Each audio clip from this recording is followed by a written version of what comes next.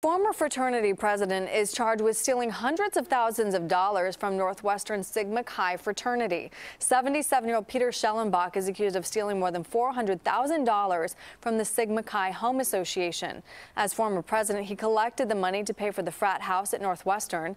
Attorney General Kwame Raoul says Schellenbach reportedly invested most of the money, converted it into Iraqi dinar, then lost it all. He has pleaded not guilty.